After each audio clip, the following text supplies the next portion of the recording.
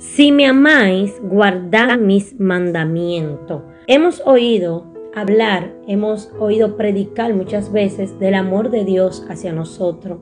Hemos escuchado que Dios es amor. Hemos escuchado que de tal manera amó Dios al mundo que dio a su Hijo unigénito para que todo aquel que en Él crea no se pierda, mas tenga vida eterna. Es un verso bíblico que todos conocemos. Es muy fácil escuchar, Cristo te ama y todos dicen amén. Muchos son agradecidos y saben que si están vivos, que si se levantan, si tienen una familia, agradecen a Dios. Y es lo correcto, tienen un corazón agradecido. Pero no es tan agradecido al punto de comenzar a amarlo. Entonces, siempre hay algo en nuestro corazón y Dios lo escudriña.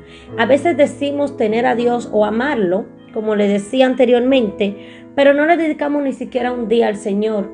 No hacemos nada para agradarle a Él. No caminamos conforme a Él. No hablamos como Él. No limpiamos nuestro lenguaje. Entonces, ¿qué amor es este? ¿Qué amor es que tú profesas o que a veces profesamos hacia Dios, pero no se lo demostramos?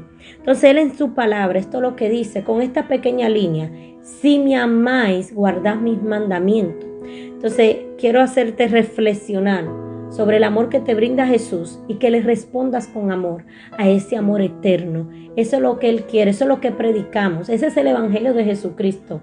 Amarlo a Él porque Él nos amó primero.